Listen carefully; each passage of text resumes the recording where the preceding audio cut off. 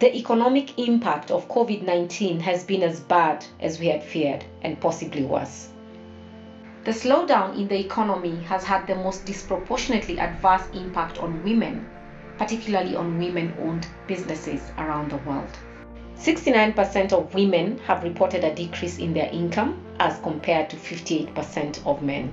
Meet Stella, Tahmina, and Rakhi, three women leaders at the grassroots level. These three women share their journey as entrepreneurs and discuss how COVID 19 has affected their businesses.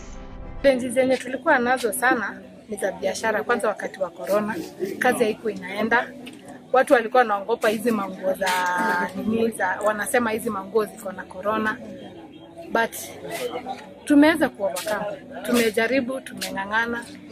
Tulikuwa tu, eh, ilibidi tuingie kwa simu, tuna kupeleka kwa manyumba, unapigia customer wako, unampigia, unampelekea kwa nyumba, hivyo hivyo ndio tuling'ang'ana. আবার নারীদেরকে আগে কিন্তু নারীরা বুঝতো না যে সঞ্চয় কাকে বলে। আমরা কিন্তু তাদেরকে মাসে একটা সঞ্চয় করার জন্য উদ্যোক্তা করি। উদ্যোক্তা হিসেবে তৈরি করি।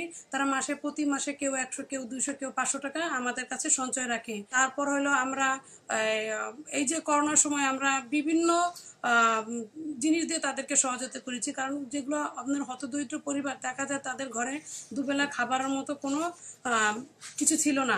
তখন আমরা যারা এই ব্রাক আরবান ডেভেলপমেন্ট প্রোগ্রামে যে কাজ করতেছি, নেতৃত্ব দিচ্ছি, ওই সমস্ত পরিবারগুলোকে খুঁজে বের করি এবং ব্রাক আরবান ডেভেলপমেন্ট প্রোগ্রামের মাধ্যমে যে খাদ্য সহায়তাটা দেওয়া লোকদের জন্য আমি যেমন, আমি নিজে বিশ্বাস করি যে প্রত্যেকটা মেয়েকে নিজের পায়ে দাঁড়ানো উচিত, স্বনির্ভর হওয়া উচিত।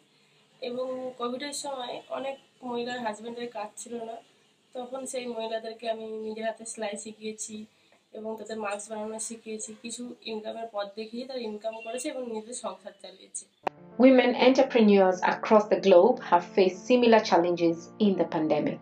What strategies can support the survival, revival, and recovery of women owned enterprises?